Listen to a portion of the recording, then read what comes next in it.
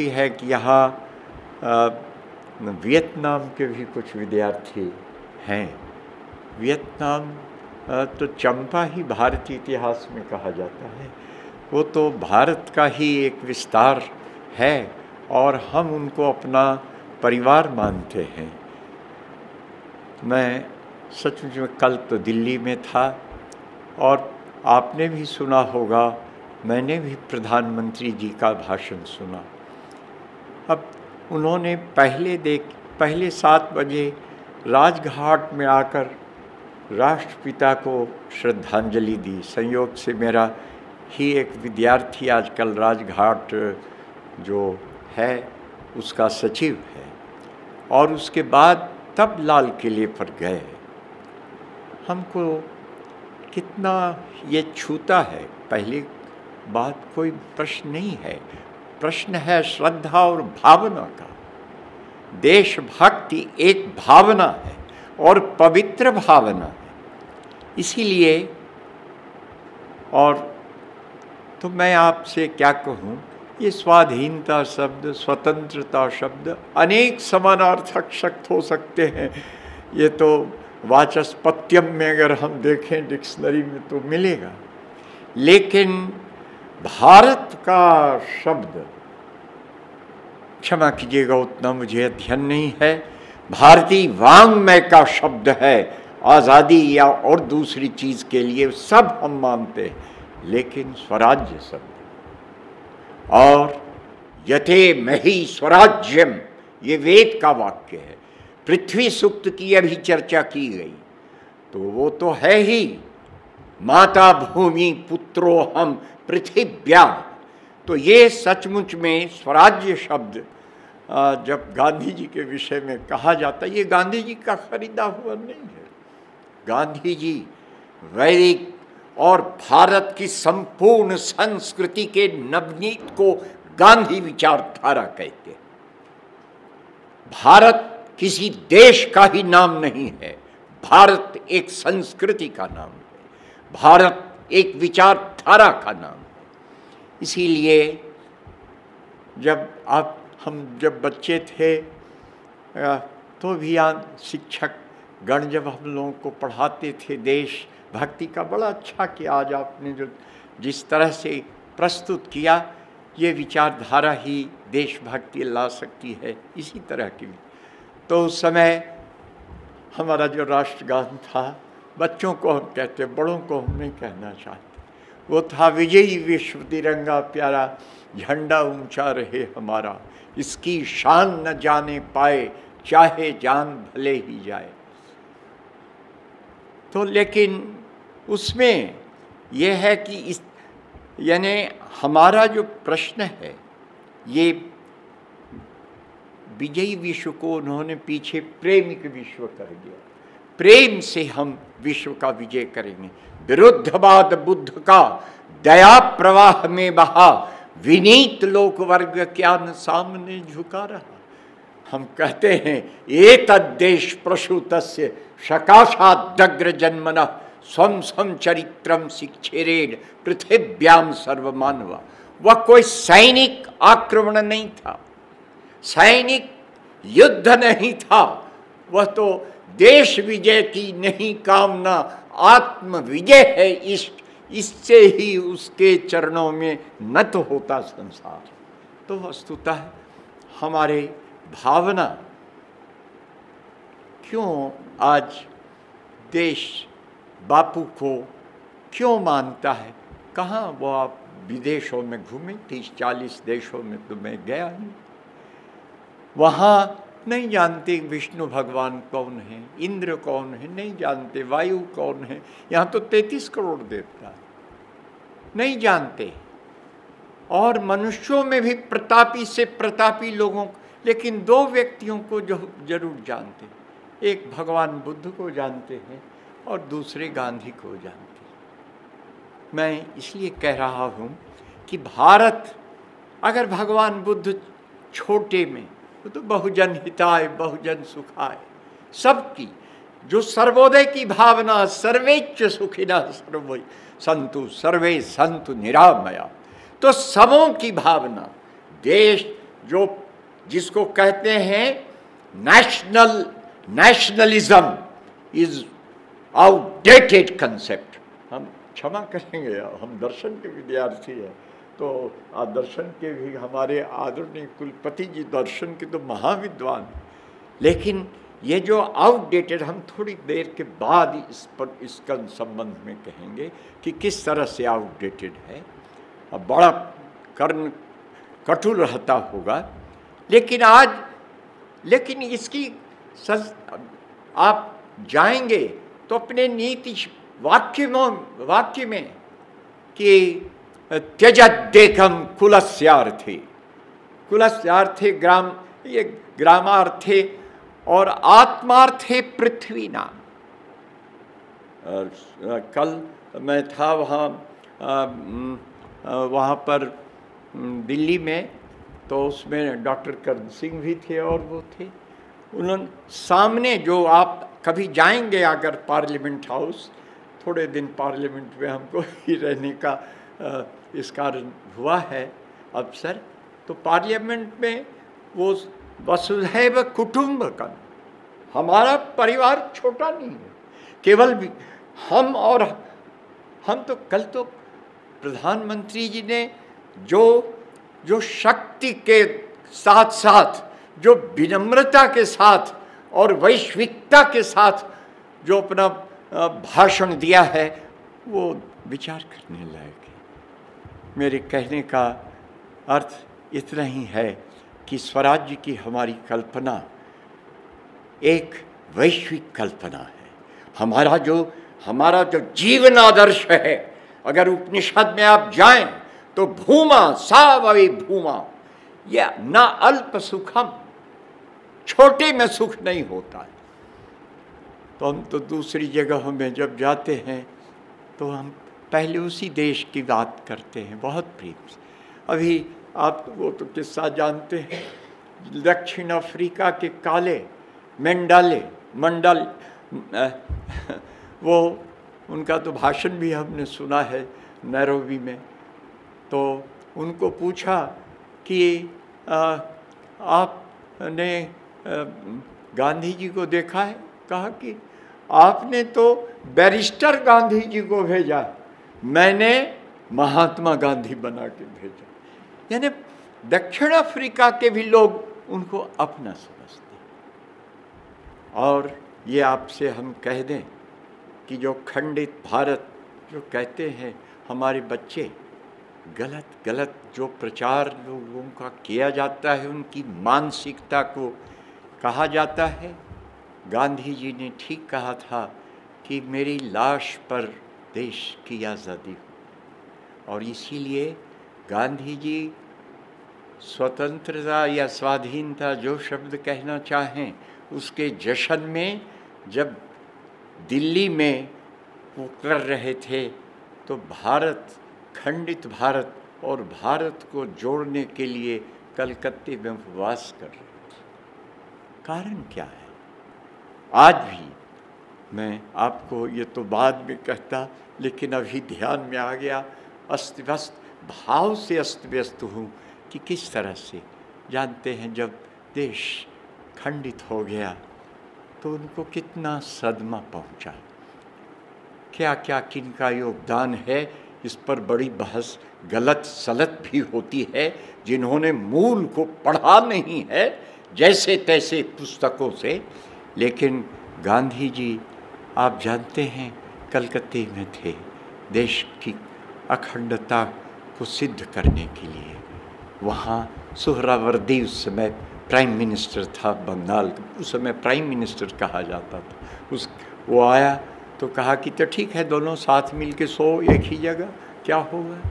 कितनी एटन वेरो को जो आठ ऑस्कर का पाने वाला है, उसने जो चित्रित, वो आपने देखा होगा। कलकत्ते में हिंदू मुस्लिम दंगे हुए।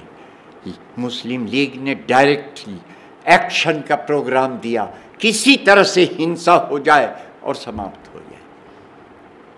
और उसके बाद गांधी जी नोआखाली गए। नोआखाली उस बूढ़े बुढ़ापे में आ, वो बाँस की पुल पर एक नीचे पानी बाँस के पुल पर किस तरह से गया गए होंगे? और बारह तेरह कौन कौन गए थे उनके साथ? सुशीला बहन, निर्मल कुमार बोस, ऐसे कोई दूसरे जो राजनीति के शिखर पर आज थे और हैं, उनमें से कोई नहीं गए थे। जो महिलाओं ने पूछा, बापू, क्या हम लोग एक गाँव हज़ारों लोग अर्ध जले हुए पाए गए थे वहाँ नोआखोली खाली में। तो वहाँ गांधी जी को पूछा कि दो दो करके हम जाएँ? गाँव में प्रेम का संवाद, संदेश लेकर कहा, तुम डर गए? इतना डर कि तुम दो आदमी अकेले जाओ। और उसके बाद हमारे बिहार में आए, वहाँ भी दंगा था। यानी हज़ारों हज़ार आदमी बिहार में भी हम कौन हिंदू और कौन मुसलमान है, इसमें हम फल नहीं करते। जो भारत को चाहता है, वही उस उस सब के लिए हमारे लिए दर्द है। तो उन, वहाँ भी 45 दिन तक रहे और उसके बाद दिल्ली आए। ये रेयर मैसेज है इंफॉर्मेशन इसको वो ट्रांसफ़र ऑफ़ पावर की हज़ार पन्ने वाली किताब उसमें भी देखें, दूसरी जगह देखें। निर्मल कुमार बोस में उनके हाथ, उनका प्रोग्राम था, दिल्ली में शरणार्थी बहुत थे, हिंदू शरणार्थी। वहाँ से उनका जाने का था पाकिस्तान प्रोग्राम और केवल दो दो केवल पॉइंट था। पहले भेजा गया था प्यारे लाल और सुशीला नायर को वहाँ लियाकत अली खां प्राइम मिनिस्टर थे। उन्होंने कहा कि हम गांधी जी का स्वागत करने के लिए हम वो पहुँचेंगे। स्थल मार्ग से वो जाना चाहते थे। कायद आज़म मोहम्मद अली जिना ने कहा कि ज़रूर उनसे हम मिले गांधी जी का दो प्रोग्राम था। आज श्री अरविंद ने कहा, अखंड भारत होगा, पंद्रह अगस्त का आएगा। हम योगीराज को हम के बारे में कुछ नहीं कहना चाहते। गांधी के विषय में कहना चाहते। गांधी जी लेकर के गए थे एक प्रपोजल। नहीं कहा था कांग्रेस के लोगों को। किसी को नहीं कहा था। एक प्रपोजल था उनका कि ठीक है, एक बाप के दो लड़के थे, दोनों अलग हो गए। लेकिन मिल करके रहें। अगर आज मिल के रहते तो पाकिस्तान तो छोटा मोटा है, लेकिन चीन तो वैसा नहीं न है जिसको जैसे तैसे कर देंगे। तो आज चीन अपनी आँखें तड़ेरने का साहस नहीं करता। तो गांधी जी ने दो प्रपोजल दिया था, नो वार पैक्ट कर लीजिए फॉर एवर कभी भी जो कुछ थोड़ा बहुत करेंगे इधर उधर, लेकिन लड़ेंगे, यानी वार नहीं करेंगे। और सेकंड था कि आपके यहाँ जो अल्पसंख्यक है, उसकी रक्षा करने का जिम्मा आपको लेना होगा। और हिंदुस्तान में जो अल्पसंख्यक रह जाएँगे, उनकी, उनका जिम्मा हमको होगा। लेकिन पागल लोगों ने समझा नहीं गांधी को। जैसे तैसे जो हुआ वो हम दोहराना नहीं चाहते। वो देश ही नहीं मानवता का दुर्भाग्य था। कल मैं आ, वो समझिए कि दिल्ली में श्री रामधारी सिंह दिनकर की पुस्तक रश्मि रथी पर एक मंचन हुआ था उसमें था। उसमें मुझे दिनकर जी की वो पंक्तियाँ याद आ जाती है। चालीस कोटि के पिता चले, चालीस कोटि के प्राण चले, चालीस कोटि हत भागों के आशा भुजबल और प्राण चले। यह लाश मनुज की नहीं, मनुजता के सौभाग्य विधाता की बापू की अर्थी नहीं चली, अर्थी यह भारत माता मैं इसलिए आपसे कहता हूँ कि गांधी कौन थे? आज जो लोग हिंदुस्तान ही नहीं वर्ल्ड पॉलिटिक्स के कंटेम्प्रेरी समकालीन वैश्विक राजनीति का ख्याल रखते हैं, उन्हें समझना होगा कि आज भारत अगर देखिए, सबसे पहले दौड़ करके पड़ोसी आएगा। और दुर्भाग्य है सत्तर वर्ष की हम उन मैंने पार्लियामेंट में भी कहा है और अभी भी मैं कहता हूँ कि सत्तर वर्ष की आज़ादी के बाद भी हम अपने पड़ोसियों से अच्छा संबंध, गाढ़ा संबंध बनाने में सफल नहीं। छोड़ दीजिए पाकिस्तान की बात। नेपाल जिसको हम हिंदू राष्ट्र पहले कहा गया। उससे भी हमारे अच्छे संबंध नहीं। अभी तो बंद था बहुत दिनों तक। सिलोन से लंका से हमारे संबंध अच्छे नहीं। इसीलिए सोचना होगा आज, आज़ादी की कीमत चुकाने की चर्चा अलग है। वो कि, वो गीत अभी भी जो आप गाने वाले थे उस उस, वो मेरे हृतंत्री को तार कर रहा था कि ये ये किस तरह से शहादत दी गई थी वहाँ के समय में। लेकिन आप जानते हैं, हिंदुस्तान में तो देशभक्ति के लिए शहादत की परंपरा प्राचीन से लेकर अभी तक। देश, भक्त समझ शहीद आज़म, भगत सिंह, राजगुरु और सुखदेव। ये तीनों को फांसी की सज़ा मिली, आपको मालूम है। मैं बच्चों के लिए कह रहा हूँ, बड़ों बड़ों के लिए क्योंकि हमार, हम तो देखिए इक्यानवे साल बिरानवे साल के हो गए। और ये भारत तो उनके हाथ में रहेगा, हम भारत को नहीं, वो बचाने वाले। तीनों को फांसी की सजा हुई। तेईस मार्च, चौबीस मार्च। अंग्रेज़ सरकार इतनी डर गई कि चौबीस को फांसी जो की जो सज़ा जज ने लिखी वो देने का वो डर गई कि उस दिन कुछ हो जा सकता है। एक दिन अहेड कर दिया और तेईस धोखे से उसको दिया फांसी। तो उसमें था कि पहले कौन जाएगा? तो राजगुरु ने कहा कि हमारी परंपरा में, धार्मिक परंपरा में जो अमी, जो ज़्यादा उम्र के होते हैं, वो पहले जाते हैं, छोटे तो बाद में। तो राजगुरु ने कहा, हम राजगुरु जहाँ पढ़ाते थे, वहाँ दो दो बार हो हो आए हैं। वहाँ राजगुरु ने कहा कि पहले मैं जाऊँगा देखिए देखिए, ये कुर्बानी का क्या है?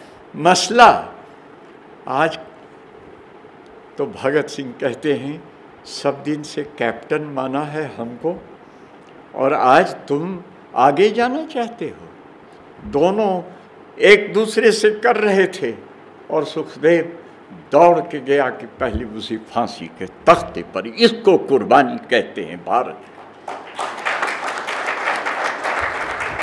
हमारे बिहार में एक मुजफ्फरपुर जगत है। सोलह साल का बच्चा खुदीराम बोस को फांसी हुई। माँ को चिट्ठी लिखता है कि माँ रोना मत। जा रहा है खुदीराम ये है देश की कुर्बानी का सवाल। इसीलिए आज हम सचमुच में हमें याद है गुलाम भारत का भी मैं पाँचवीं क्लास में शायद हो, था जिसमें गुरुदेव रविंद्रनाथ इस संसार से चले गए थे। अस्ताचल हो रहा था, लेकिन हम लोगों को शिक्षकों ने जैसा पढ़ाया, उसी का आज तक फल है। चाहे ज्ञान का हो, चाहे भावना का हो, चाहे देश का लगता था कि सूर्यास्त जब भग, ये ये टैगोर का गुरुदेव का निधन हुआ तो लगा सूर्य अस्ताचल में जा रहा। इसलिए आप देखेंगे कि हम तो जब पाँचवीं क्लास में थे तो विदेशी वस्त्र का बहिष्कार, असहयोग का आंदोलन आंदोलन जो हुआ, उन्नीस सौ इक्कीस का, आप जानते हैं विदेशी वस्त्र का व्यवहार, विदेशी भाषा का, विदेशी जो भाषा विदेशी शिक्षा का बहिष्कार। आज तो अंग्रेज़ी और अंग्रेजियत दोनों बढ़ी है, यही भारतीयता है क्या हम जानते हैं कि दुनिया के हमारी खिड़कियाँ खुली रहनी चाहिए और हर जगह से, लेकिन मेरा पैर जम के रहना चाहिए ताकि हम अपने को भूलें नहीं।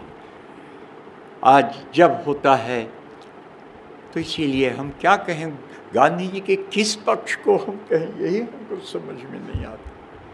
लेकिन देशभक्ति के सवाल को मैं आपसे कहना चाहता हूँ कि देश में स्वराज्य, भारत, भारतीय संस्कृति और वेद की अवधारणा है। और उसमें फ्रीडम शब्द बहुत छोटा है। लिबर्टी में भी खूबसूरती है, लेकिन लिबर्टी के साथ रूसों को इक्वालिटी और फैटर्निटी जोड़ना पड़ा। लेकिन स्वराज्य में स्वावलंबन भी है। स्वराज्य में स्वतंत्रता भी है और स्वराज्य में अगर आप देखेंगे तो हमारे जीवन का सर्वस्व भी स्वराज्य। यते में ही स्वराज्यम। तो हमको पहली, अब थोड़ा सा हम बहुत इधर उधर भाव से आप लोगों ने यहाँ आज के इस विषय को बुलाया। तो हम तो कहा कि हम पाँचवीं क्लास में थे। उस समय भी खादी पहनते। और जो गांधी टोपी, आज तो गांधी टोपी पहनना, आप जानते ही हैं क्या किस काल तक हो गया। लेकिन उस समय मोनिटर क्लास में थे। आधा शिक्षक सिखाते, जो आगे उसको आधा नंबर लिखो, लिख करके रखते थे। आठवीं क्लास में मैं था। और भारत छोड़ो की लड़ाई शुरू हुई। बच्चे तो जानते नहीं कि हिंदुस्तान की लड़ाई कैसे उन्नीस सौ एक, छोड़िए गांधी जी से ही हिंदुस्तान की लड़ाई शुरू नहीं हुई। भगत सिंह भी थे उसमें, चंद्रशेखर आज़ाद थे। ये कौन कौन थे? तो उस 1921 में जब असहयोग आंदोलन हुआ, एक एक पहले हिंदुस्तान इतने दिन, आपने 720 वर्ष से 720 ही वर्ष से हमारी गुलामी।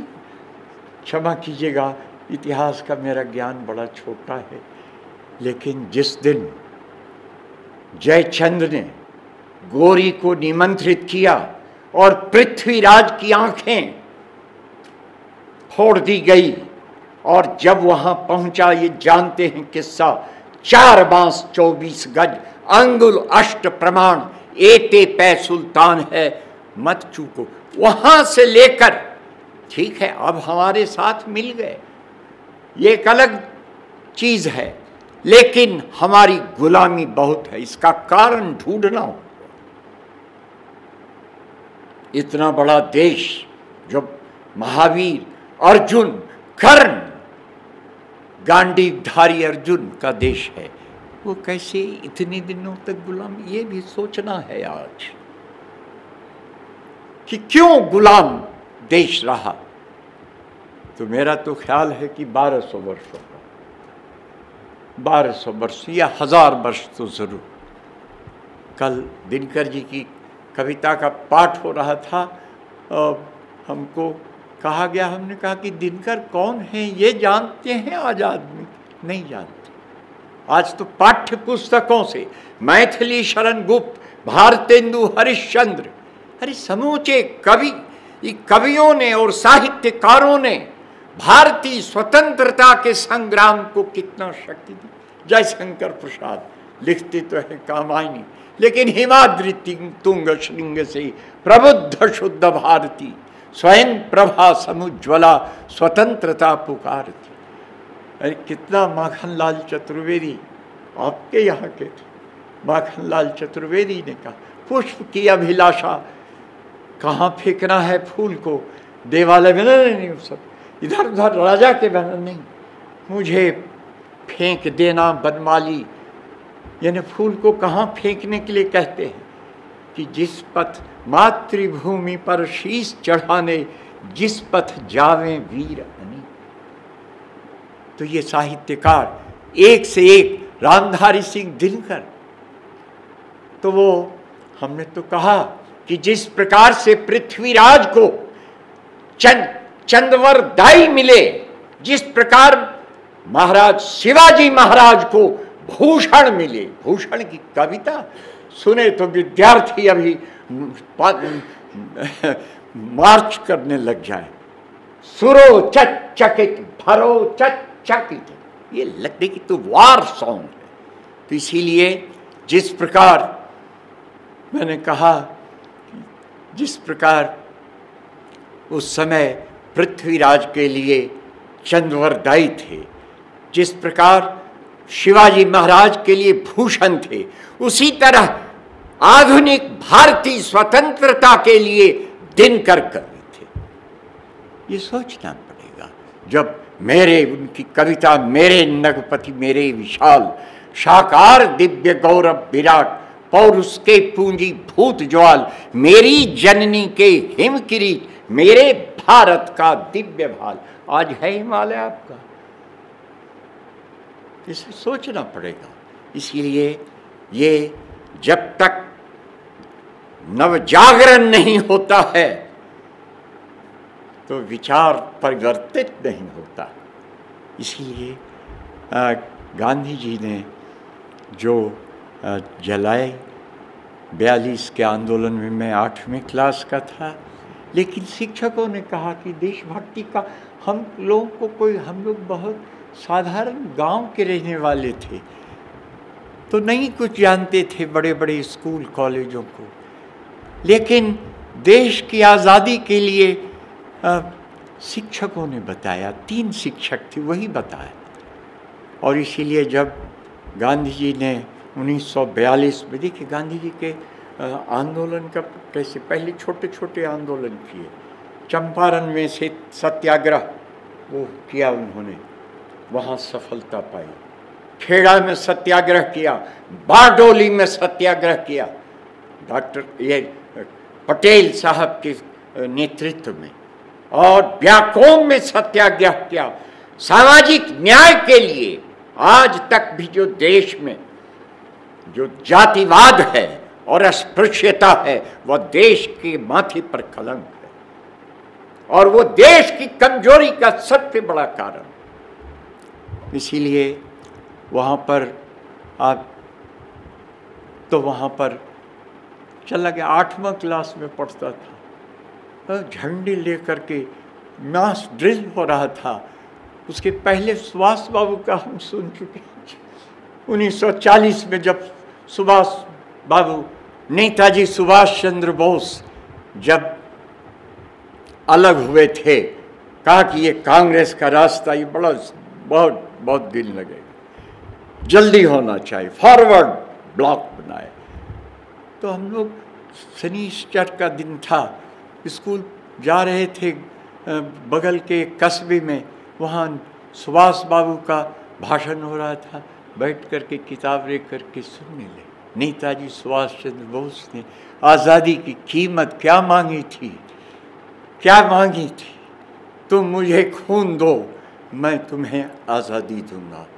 फ्रीडम को स्वतंत्रता, कोई एक देश द्वारा दूसरे देश को पुष्पहार, कोई freedom is a gift not to be given by one nation to another it has to be purchase by one's blood तो खून के बिना आज़ादी नहीं हो सकती ये था नेताजी सुभाष चंद्र बोस का। तो मित्रों, जब हम लोगों ने स्ट्राइक किया, न। छूट गया। छः महीने के बाद सब जब विद्यार्थी जाने लगे तो गए हेडमास्टर के पास कि हमको भी परीक्षा तब देने दीजिए। सबको दे रहे हैं। कहा, नहीं, तुम माफ़ीनामा लिखो लेकिन हमको कोई गांधी जी ने नहीं कहा, जवाहरलाल ने नहीं कहा। हमको कहा कि नहीं, हम इस्तीफ हम माफ़ीनामा नहीं लिख सकते। दूसरे स्कूल में, दूसरे, दूसरी जगह जा कर के नाम बदल बदल करके मान ली। तो हमने कहा, उस आंदोलन में कैसे गांधी जी ने पहले नन कॉपरेशन किया? उसमें विरोध नहीं, कानून तोड़ना नहीं। हम मिल का कपड़ा नहीं पहनेंगे, हम खादी का पहनेंगे, गाँव का। तो ये तो कानून तोड़ना नहीं हुआ, लेकिन इसी ने हिला दिया था। मैनचेस्टर और लंका शहर को हिला दिया 1931 में जब गए, ये कहन कि पहला जो असहयोग आंदोलन में त्रिविध बहिष्कार था कि हम विदेशी वस्त्र का बहिष्कार करें, विदेशी चीज़ों का बहिष्कार। आज हमारे ड्राइंग रूम में विदेशी चीज़ें पड़ी रहती हैं, सोचिए। तो ऐसा हुआ था कि देश में, गांधी जी ने असहयोग आंदोलन में, स्वदेशी शिक्षा, ये देश में चाहे तीन हज़ार विश्वविद्यालय, में जानता हूँ तीन हज़ार विश्वविद्यालय बन गए हैं, लेकिन देश में, देश की सांस्कृतिक विद, सांस्कृतिक अंस्पर्श कमज़ोर पड़ रहा इसीलिए कहा, विद कितने हर जगह, काशी विद्यापीठ, गुजरात में गुजरात विद्यापीठ हरिद्वार में गुरुकुल कांगरी दिल्ली में जामिया मिलिया, ये सारे बिहार में बिहार विद्यापीठ, सब स्वतंत्र स्कूल और विद्यालय बने। आज अपने विश्वविद्यालयों और विद्यालयों में स्वदेशीपन कितना है, हम आप जानते हैं। तो इसीलिए असहयोग आंदोलन हुआ। विदेशी वस्त्र का, विदेशी अदालत का नहीं पंचायत करके हम कर लेंगे फैसला। और तब दस वर्ष फिर जुटे और तब हुआ सिविल डिसोबीडियंस। सभी ने अवज्ञा। नमक कानून को तोड़ा गया। नमक सब खाते हैं।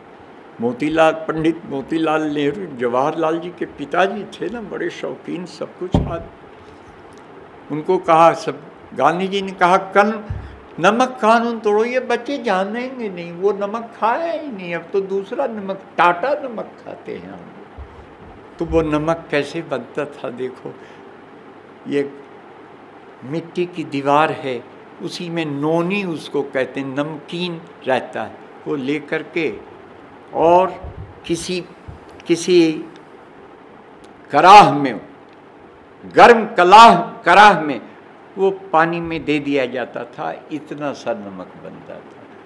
तो मोतीलाल नेहरू ने कहा कि इतना सा नमक बनाने से आज़ादी कैसे मिल जाएगी?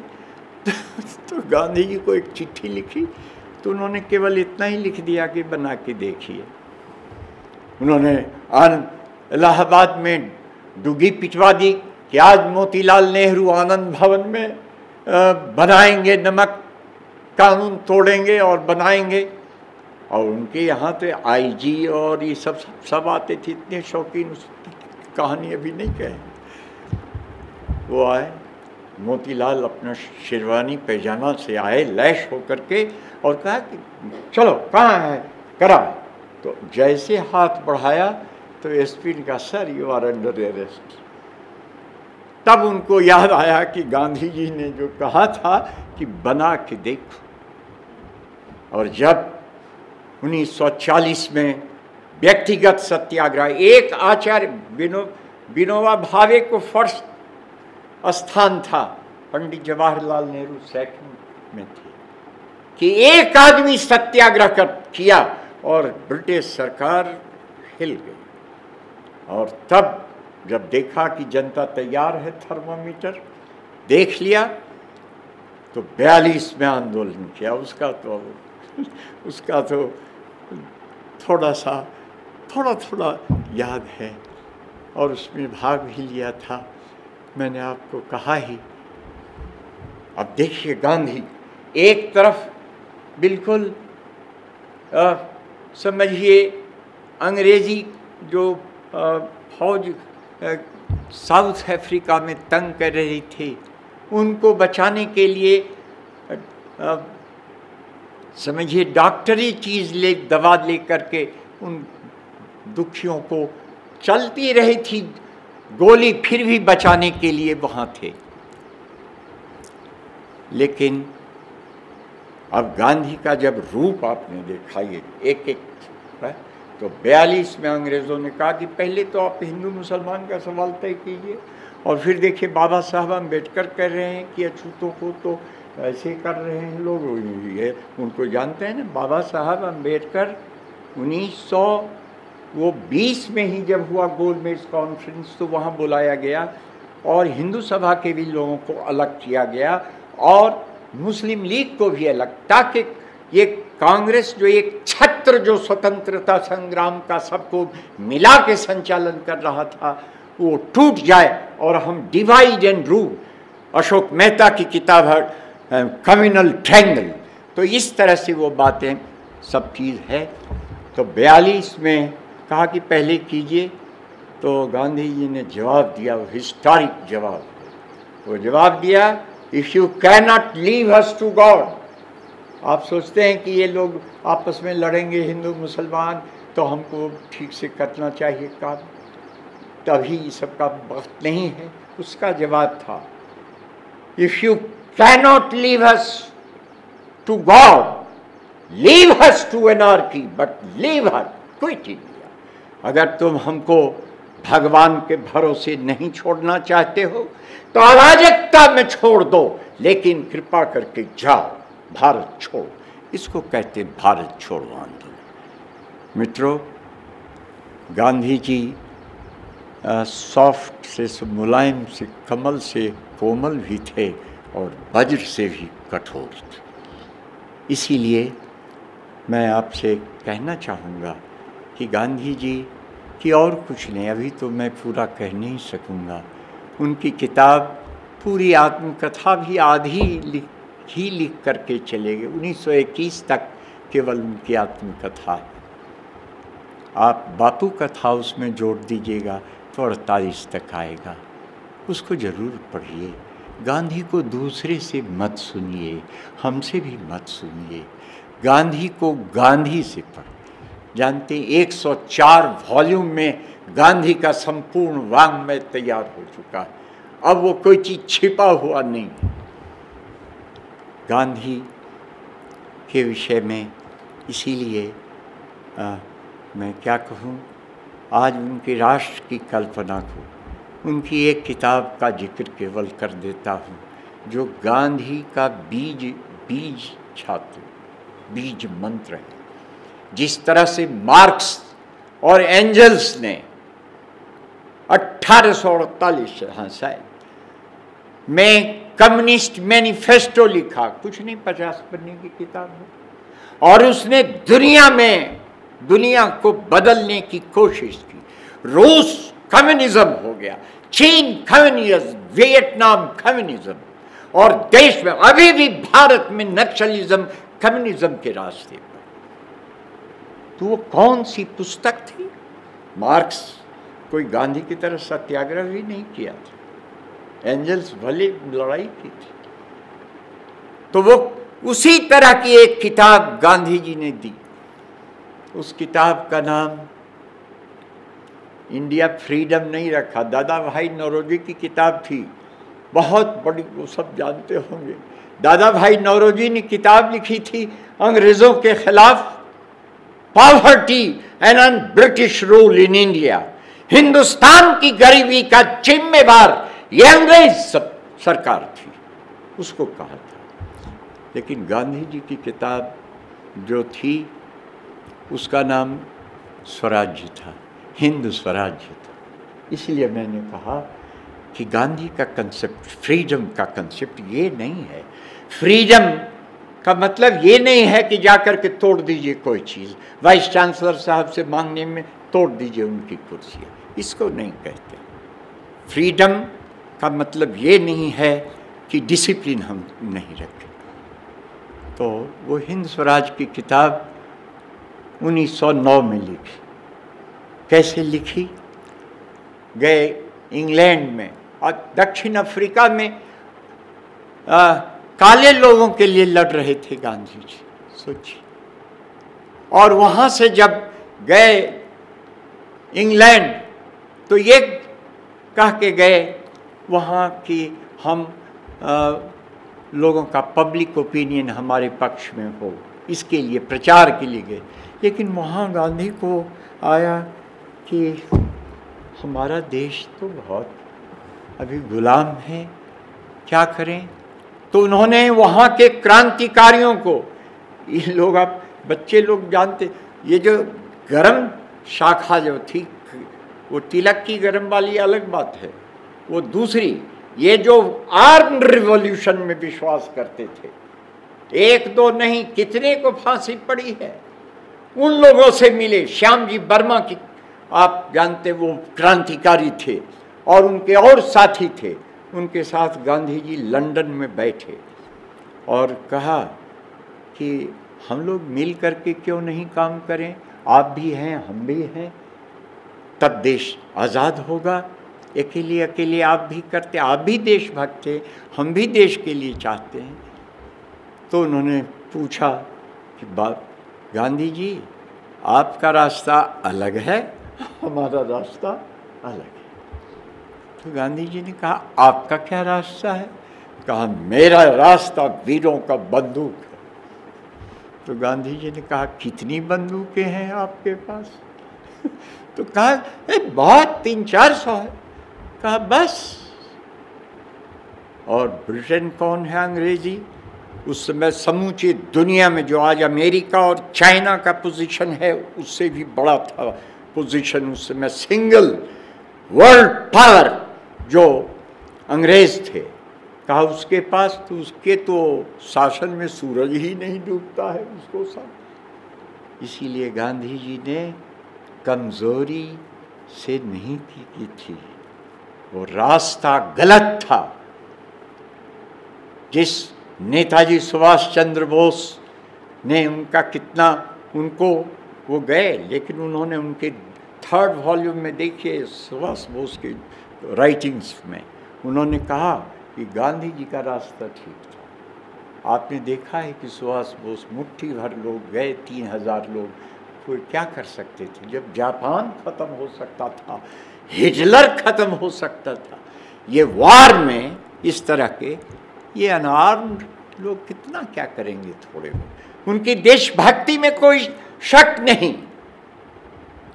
तो उन्होंने यही कहा कि ये तो आपका प्रैक्टिक व्यवहारिक नहीं है तो ठीक है, आप आप अपने रास्ते से कोई ठिकाना नहीं कि आप ही का रास्ता ठीक हो, आप भी कीजिए, हम भी करें, लेकिन मिल करके जहाँ तक हो सके।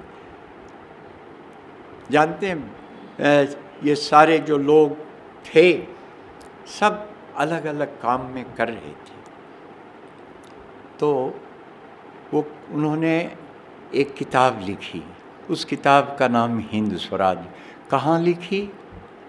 न महल में लिखी, न ज़मीन पर लिखी, जहाज़ पर लिखा। एक दाहिने से लिखते थे, वो थक जाता था तो बाएँ हाथ से लिखते थे। और वो केवल अस्सी नब्बे पन्ने की किताब है। हिंदी में भी है, अंग्रेज़ी में भी है। और लिखी किताब। उसका थोड़ा सा, थोड़ी सी झांकी में खाली दे दूँगा कि गांधी जी के स्वराज का सपना क्या था? तो किताब लिखी। उस किताब का हसर क्या हुआ? गांधी जी के गुरु थे गोपाल कृष्ण गोखले। तो गोखले को वो किताब गई। तो गोखले ने कहा कैसा रद्दी किताब है? उसमें क्या रेल के खिलाफ डॉक्टर के खिलाफ वकील के खिलाफ इस स्कूल इस, इस, इसके खिलाफ ये ये सब अभी उसकी सब व्याख्या हम नहीं कहेंगे। तो वह तो गोखले ने कहा कि तो गांधी जो खुद फिर पढ़ेगा तो इसको फाड़ देगा। और गांधी के गुरु ने ये कहा, और गांधी के शीशे जो जवाहरलाल जी थे, उन्होंने क्या कहा? गांधी जी ने किताब भेजी और कहा कि अब तो देश आज़ाद होने वाला है तो कैसे देश का निर्माण हो? इसके लिए किताब है, इसको वर्किंग कमेटी में रखिए। तो नेहरू जी का जवाब सब राइटिंग में है, ये कोई हम किस्से नानी की कहानी नहीं कह रहे हैं राइटिंग्स में। तो उसमें यही कहा नेहरू जी ने कि हाँ बापू, आपकी किताब तो हम पढ़े थे बहुत पहले, अब तो बहुत याद नहीं है, लेकिन ये सब अभी चीज़ इसका वक्त नहीं है। यही तो गुरु ने कहा ये फाड़ देगा। और चेला ने कहा कि अभी इसका वक्त नहीं है। और अंग्रेज़ सरकार ने क्या किया जानते हैं? वो किताब जैसे छपी उसको जब्त कर लिया। इसीलिए हम बच्चों को कहते वो किताब पढ़ो। जिसको कि, जो किताब में क्या चीज़ थी कि अंग्रेज़ी सरकार जो इतनी बड़ी थी उसको जब्त करना पड़ा। मैं चाहता हूँ? कि आज़ादी का जश्न आप मना रहे हैं। ये स्वराज स्वराज्य नहीं है।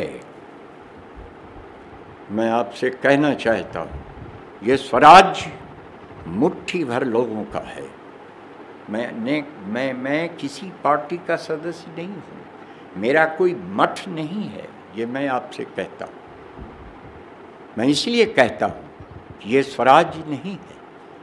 आज प्लानिंग कमीशन तो ख़त्म हुई। प्लानिंग कमीशन के जो थे अर्जुन सेन गुप्ता, क्या उन्होंने रिपोर्ट दी कि 80 करोड़ भारतवासी की दैनिक आमदनी कितनी है?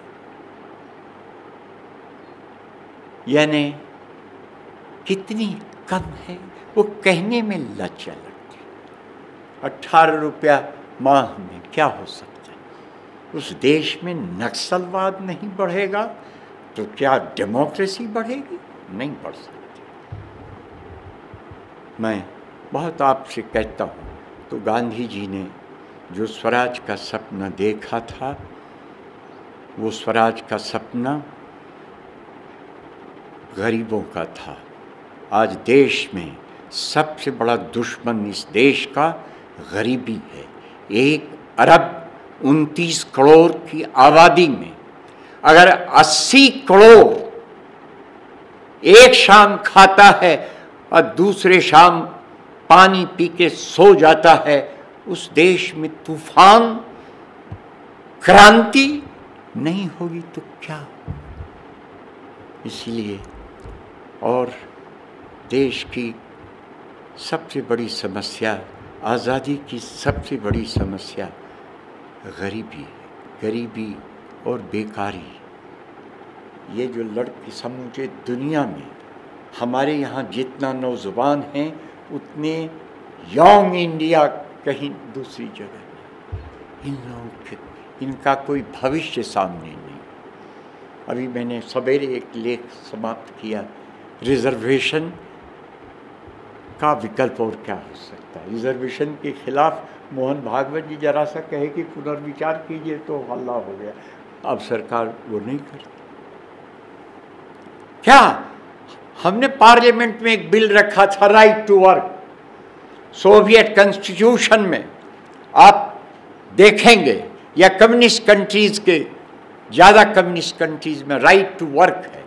तो मैंने भी रखा था मधु दंडपति ने भी रखा था, शायद अटल बिहारी वाजपेयी जी ने भी एक वो दिया था। वो प्राइवेट मेंबर बिल था। राइट टू वर्क हम यहाँ हैं। हमको रोजी अमेरिका से कुछ लाके इस देश से उस देश से लाके इस सबसे रोजी तो होगी नहीं। सब तो बड़ी बड़ी कंपनियाँ हैं। बड़े बड़े का, कारखाने आएँगे बड़ी बड़ी मशीनें आएँगी। उसमें कितने लोगों को रोजी मिलेगी? हम हिसाब तो कर लें जरा। इसीलिए इस देश में बेकारी, बेरोज़गारी और गरीबी साथ साथ जुड़ी हुई है। कितना बड़ा खतरा है। लेकिन उससे भी एक बड़ा सामाजिक खतरा है। ये नहीं कि यहाँ गुजरात में कुछ हो गया, वो सब नहीं या हिंदू, मुस्लिम।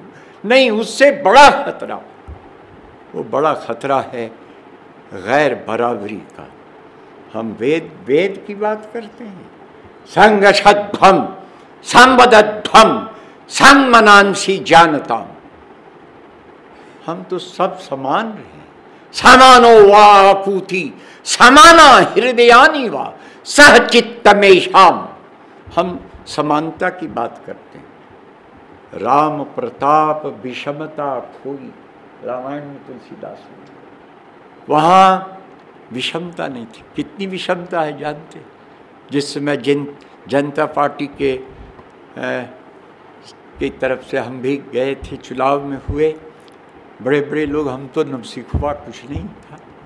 वहाँ हमारे जो हमारा जो मैनिफेस्टो था वो सब साथ उस समय थे। अटल जी आडवाणी साहब और ये मधु दंडवती सारे लोग साथ तो उसमें जो मैनिफेस्टो है जनता पार्टी का अभी भी है अब तो जनता पार्टी गई वो सब बट उठ के सब साफ़ हो वो था कि हम ये काम का अधिकार देना है और दूसरा विषमता को रोकने के लिए उन्होंने कहा कि दस गुना ज़्यादा वाइस चांसलर साहब अभी इनके आ, आ, हम नाश्ता करने गए मैंने पूछा कितने दिनों से आप हैं? बड़ा बहुत प्रेम से उन्होंने खिलाया, पिलाया। लेकिन कितनी आमदनी है इनको और कितना उनका पेमेंट है? तो उसमें दिया गया था मैनिफेस्टो में कि दस गुना होना चाहिए। आज हिंदुस्तान में गैर बराबरी, विषमता मेरे शब्दावली नहीं है। आप डॉक्टर ब्रह्मदेव शर्मा का नाम सुना होगा। वो कलेक्टर भी नहीं, बल्कि कलेक्टर को बंद कर दिया था तो उन्हीं के प्रयास से छूटे थे। यहाँ जो दांतवाड़ा और ये जो सब जो है वहाँ में, वो कमिश्नर शेड्यूल कास्ट ट्राइब्स के, वो कमिश्नर ऑल इंडिया के थे।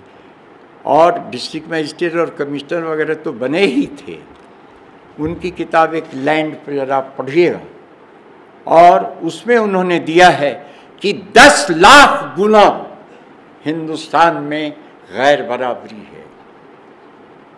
किसी आदमी का नाम लेना मैं नहीं चाहता, लेकिन एक पूंजीपति है जिसको केवल 660 कमरे और जिनका इलेक्ट्रिक बिल एक महीने का उनचालीस हज़ार रुपया होता है, चालीस मैं इसलिए आपसे कहना चाहता हूँ कि आज देश के लिए, आज़ादी के पर्व के लिए जो सही बात को और सब कैसे मिल सकें।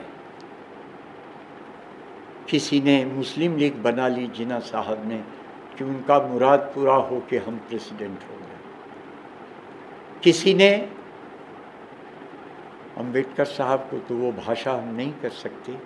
बाबा साहब के हृदय में दर्द था, लेकिन इतनी बात तो है कि उन्नीस छब, उन्नीस में जब हमारे जैसा छोटा लड़का हिंदुस्तान की आज़ादी के लिए अपनी पढ़ाई छोड़ सकता था तो ब्रिटिश सरकार के वाइस राय काउंसिल के लेबर मेंबर 1940 से 46 तक थे। उनको भी फोड़ना चाहता था। सारे लोगों को फोड़ना चाहता और गांधी हिंदू, महासभा हिंदू, राज्य हो जाए, हिंदू राष्ट्र हो जाए। कुछ लोग हैं, अभी भी कहते हैं, कहें। लेकिन समझना ये देश सांस्कृतिक समन्वय का देश यही इस देश की शक्ति भी है। यही इस देश की कमज़ोरी भी हो सकती है। इसीलिए सब लोगों ने तो सब बनाया गोलमेज कॉन्फ्रेंस में। गांधी जी ने चार लाइन की एक भजन बनाया। हिंदू, मुस्लिम, सिख, ईसाई आपस में सब भाई। आज देश में, दुनिया में जितने मुसलमान सबसे ज़्यादा हैं वो इंडोनेशिया में, और उसके बाद सेकंड हमारे यहाँ अट्ठारह करोड़। क्रिश्चियन साढ़े चार करोड़, सिख साढ़े चार करोड़, खालसा स्टेट। जैन पौने दो करोड़, वो भी अल्पसंख्यक अपने मान बना लिया। ये देश कौन सा देश है हिंदू का देश है केवल नहीं कर ऐसा नहीं कर हिंदू हिंदू जो बड़ा है उसको नीचे चल के अपना ज़्यादा त्याग करना एक जगह गए मीटिंग में तो हमने कहा तुम लोग क्यों इस भारत माता की जय में ये ऑब्जेक्शन करते हो कहा, सर, नहीं, हम नहीं करते। हम मूर्ति पूजा, हम कहते भारत माता मूर्ति नहीं है, वह भावना है, यथार्थ है, वो देश है। तो कहा, सर, हम हम खून भी देंगे, हम जान भी देंगे, लेकिन ये घर आपका भी है और हमारा मैं इसलिए कहना चाहता हूँ, देश की मिल्लत कायम रहे। दिनकर जी की पुस्तक सामासिक संस्कृति का। यह देश सामासिक संस्कृति का। यहाँ वैदिक संस्कृति के भी पहले अभी मोहनजादारा और हरप्पा के की खिड़कियाँ खुली नहीं है। इससे भी पहले और द्रविड़, यहाँ तो रविंद्रनाथ कहते यानी सागर, ये समूचा इधर उधर सब आर्येर, अनार्येर सागर तीर। द्रविड़ भी है, मंगोल भी है। ये सारे शख्स सीथियन गुर्जर प्रतिहार, ये सबों का समन्वय ऐसा कोई भूमंडल में देश नहीं। और बायोडाइवर्सिटी जो साइंस का विषय है, अगर सब अगर मिल जाएँ तो हम ज़्यादा कर सकते हैं।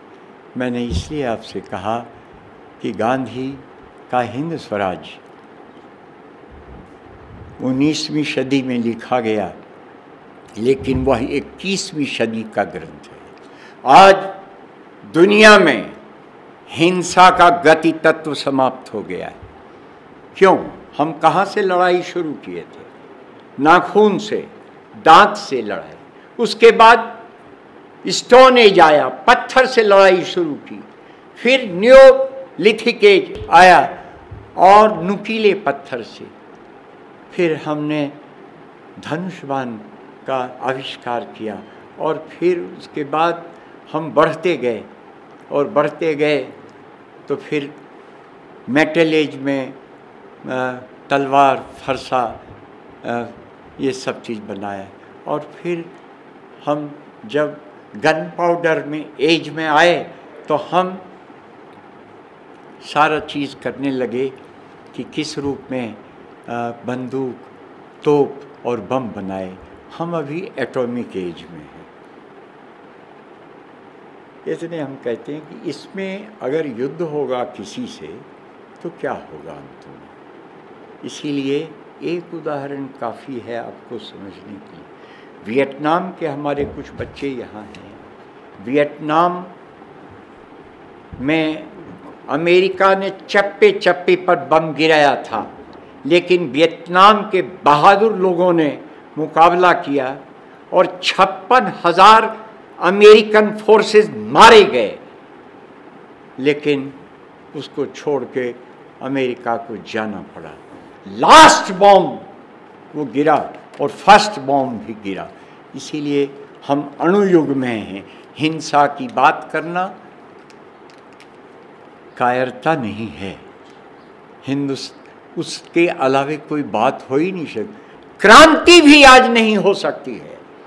हुआ तो जब क्रांति हिंसा से होती है तो तानाशाह का उदय होता है। इतिहास साक्षी है, जब फ्रांस में खूनी क्रांति हुई और लुई मारा गया तो उससे निकला कौन? नेपोलियन बोनापार्ट डिक्टेटर था। इंग्लैंड में जब क्रांति हुई, खूनी क्रांति, क्रॉमवेल ने किया जानते हैं उसके पहले चार्ल्स प्रथम मारा गया और उससे निकला कौन? डिक्टेटर क्रॉमवेल रूस में मारा गया जार फैमिली से और उससे निकला कौन? स्टालिन इतने दिनों तक तानाशाही रही। इसीलिए आज के समय में वायलेंस स्टेट साइंस और टेक्नोलॉजी ने सारी चीज़ दे दी है आदमी को। कुछ लोगों को, राज्य सत्ता को। इसलिए अब जो भी क्रांति होगी, वो अहिंसा के ही आधार। हम उदाहरण बता दें, पोलैंड में। पोलैंड में क्रांति हुई। 22 लाख लोगों ने सोवियत रशिया के खिलाफ काम किया और अहिंसक लड़ाई थी इंग्लिश आप यू, देखते यूएसएसआर में भी प्रस्टारिका और ग्लास हुए तो इसीलिए आज हिंसा की बात करना किस तरह से है?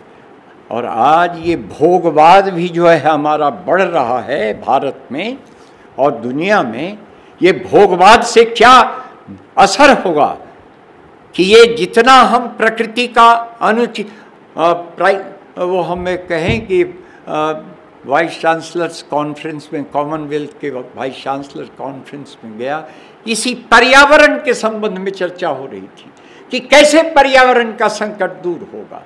पृथ्वी heating of earth heating of sky heating of sea और उसके बाद पॉल्यूशन ये सब कैसे दूर हो सकते हैं?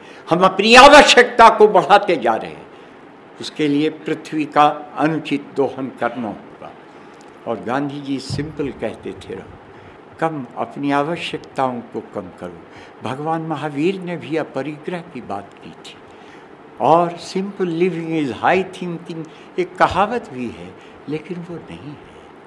इसीलिए हम आपसे कहते हैं तो वहाँ पर हमने यही गांधी जी का एक शब्द, एक लाइन कहा था nature has enough to meet our needs but not our greed तो इसीलिए ये कैसे हम अपनी आवश्यकताओं को कम कैसे करें? इसीलिए भोगवाद, विज्ञान और तकनीक, विज्ञान की बात हम नहीं कहते, लेकिन तकनीक ने और इंडस्ट्रियल जो जो सम, हमारा सिविलाइजेशन है, उसने हमारे अंदर में भोगवाद को इतना बढ़ा दिया है कि उससे प्रकृति का अनुचित दोहन करना होगा और पर्यावरण का संकट हमें बिल्कुल सर्वनाश कर देगा। इसीलिए return to Gandhi is not a fashion it is a necessity